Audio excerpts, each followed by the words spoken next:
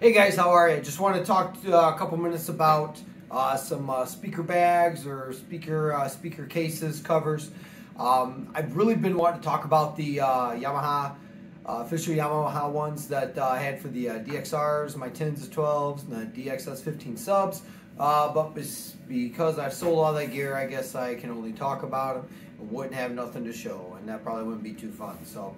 Um, uh, but right now, uh, tonight, just want to talk a little bit about uh, the uh, the gator cases, uh, bags, or gator totes.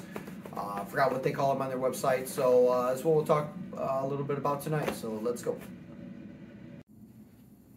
All right. So first of all, this is going to be more of a, a talk, I guess. I don't feel that I've put these through enough to actually give them a re review. So that wouldn't be fair. Um, I bought these years ago. Um, after I got my DXR 12s, uh, I believe these were less expensive than the uh, official Yamaha covers. Um, so I got these in uh, right away.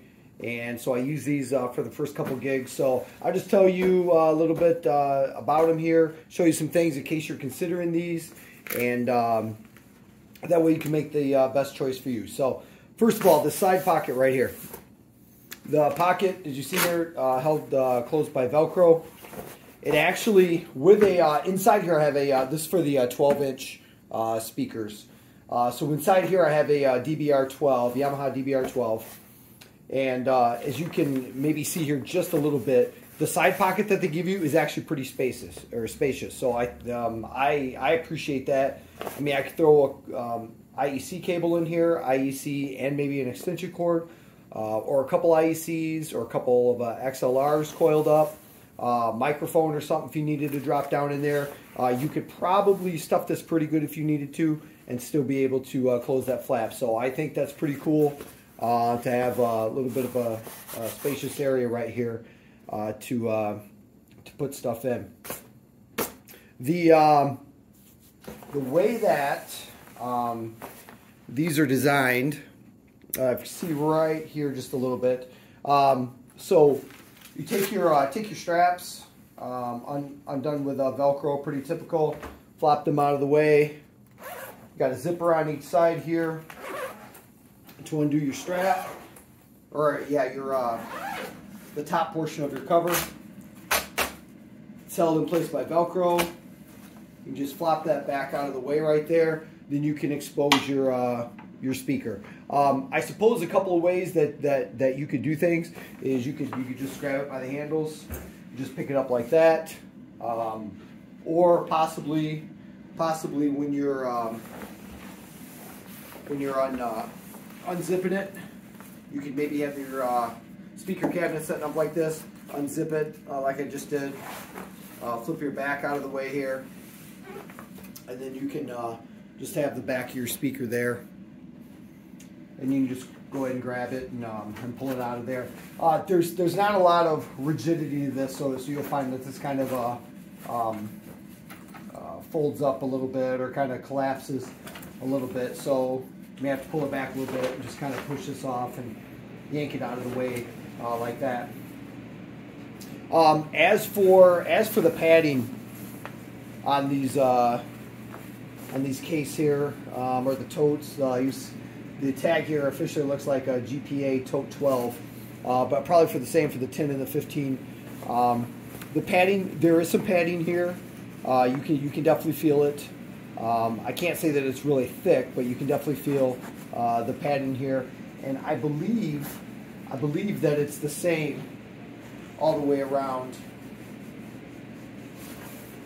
The same thickness of padding all the way around. So just want to take a look here, make sure you can see that okay yeah yeah I think so. So so there you go yeah very simply grab your speaker yank it out of there if you wanted um, when you're done at the end of the night um, the handful of times that I use these I'm pretty sure I just had it uh, had the speaker uh, laying flat down had the cover hanging hanging flat down.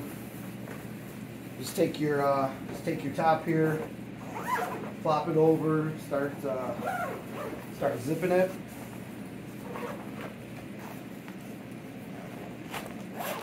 Zip it down. And not sure if you can still see right here, a little Velcro. Just um, secure your Velcro right there.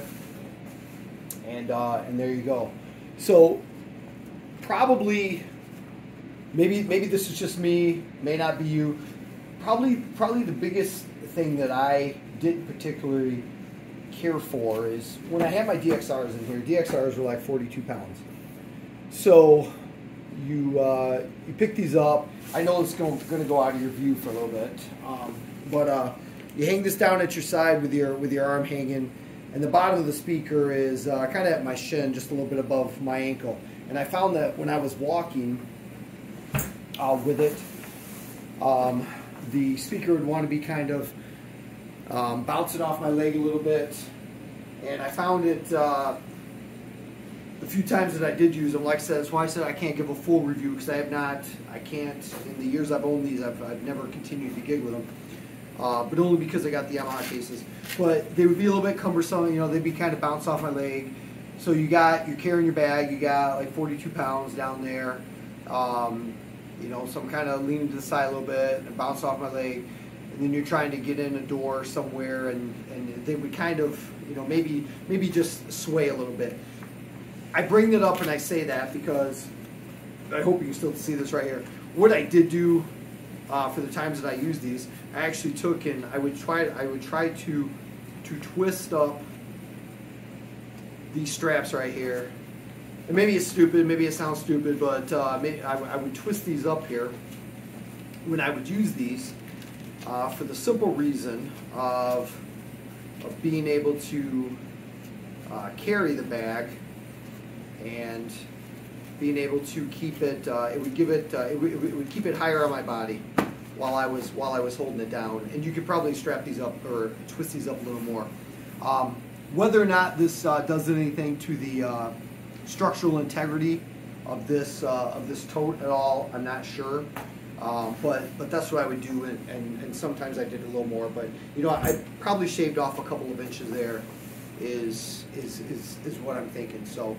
Um, again, I try not to nitpick stuff. If you watch some of my other videos, um, you'll know that I just like things that are practical and, and predictable, and, and this seemed to work better for me to be able to do to be able to do something like this.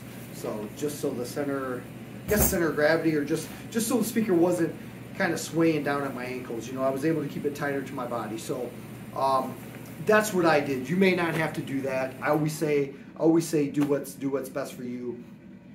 And um, I found that the times that I did, you know, use this, I would always I would always make sure that whenever I did set it on the ground, you are putting it right on the uh, on the face of the speaker on the grill. Um, so I would I would make sure that I always tried to.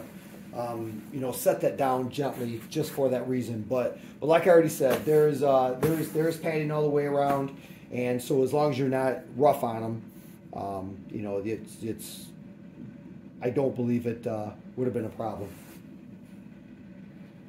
So here's the uh, here's the inside of the uh, of the tote itself. Uh, this is the material. I mean, it, it, is, it is a soft uh, material um, all the way through. You've probably seen um, you follow any of the DXR stuff, you'll see that they you know lots and lots of uh, um, people mentioning that they uh, they can kind of scuff and scratch pretty easy. The times I used it um, in these, I never I never seen anything on the uh, on the cabinets like that. So, um, like I said, this is just a soft uh, material. I can't think right now what it would be called, but yeah, it's, it's just a soft material all the way through. Um, you know, this official uh, Gator uh, tag for uh, Gator cases. Right back in there. The uh, here's the bottom of it. Like I said, there is no um, there is no uh, binding or anything to, uh, to keep it from collapsing. Uh, but heck, I was okay with that because uh, I keep these in a in a closet right now, just kind of uh, just kind of folded up like that. So so I was totally good with that. So um, some of the uh, some of the stitching right here, the times I did use them, I mean, there's there's there's been no tearing um, of any of the stitching like that. But like I said, I, I, I can't give a review like I can on some of my other gear uh, just because I haven't uh, I haven't continued to um, use this bag like I have some of my other gear. So um, again, this is I guess just more of a quick uh, of a quick of a quick rundown. All right, so hey, so pretty much I think I already said uh, I bought these when I first got my DXR 12s uh, years ago, and um, uh, that's my limited use with them. So maybe this is just an overview. Maybe this is just something to show you the, the cases uh, in, in, case you were curious. I see I see nothing about these. Uh, I mean, for the money, I think I think these are I think these are quality cases. I I have nothing negative to say. Uh, they would fit my use. Um, throw the speakers in, walk out the door, throw them in the truck, get to the show, unload them. Uh, they're protected uh, from dust, uh, from maybe some light scratches or dings and stuff like that. Um, I talked about the straps. I mean, if I had my choice, they, they would be a little bit, uh, they'd be a lot shorter just to just keep those straps uh, just above the, uh, the speaker. Um, check uh, Gator's website. Um, for you know speakers that that would fit into this. This again is the TOTE 12, I think it's called.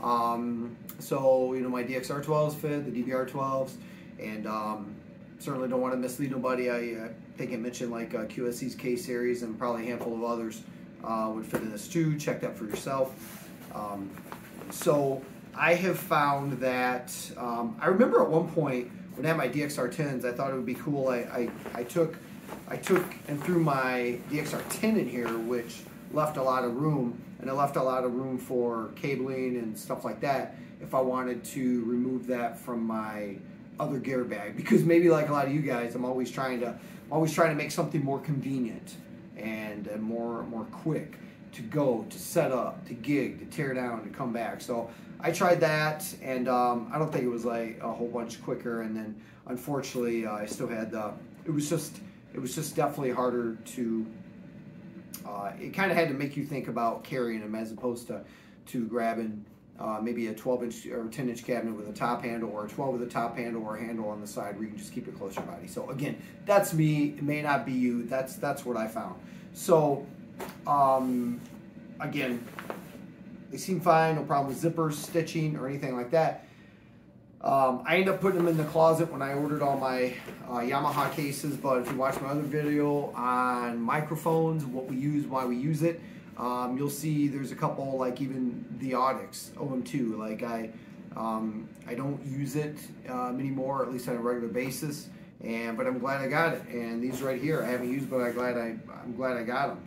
Um, it's probably uh, pretty stupid, but I can't even remember half of my luggage and stuff, or my like duffel bags and stuff for like traveling and stuff is. So, um, you know, when I go um, hunting, like hunting trips and stuff, I I knew where these were, right? They're in the gig closet, you know, so I would go grab, I got two of these, I would go grab one and just throw a bunch of uh, um, clothes in here. So yes, these have been repurposed uh, for uh, traveling. So um, just put a bunch of clothes in here and I was good to go. So anyways, uh, maybe there's a bunch of videos out here on these. Um, maybe you didn't see something zipped in and zipped out. Hope this helps somebody. Uh, maybe it doesn't. Um, check out the other videos on the um, on the channel here. And if there's any specific questions that you have on these, let me know. I'd be glad to answer them um, or show something else on them. And um, other than that, do good shows and be good. We'll see you next time.